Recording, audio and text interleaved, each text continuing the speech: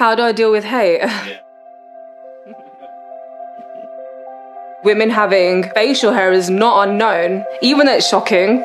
I understand that. Like, I understand it's a shock when people first see me, but there's a lot more to people than just their physical appearance. Yes, it's okay to look different and live life. Yes, it's okay for you to be how you are. If you want to change something about you, that's fine. This is how I've decided to be. I wish people asked me more questions about personal development.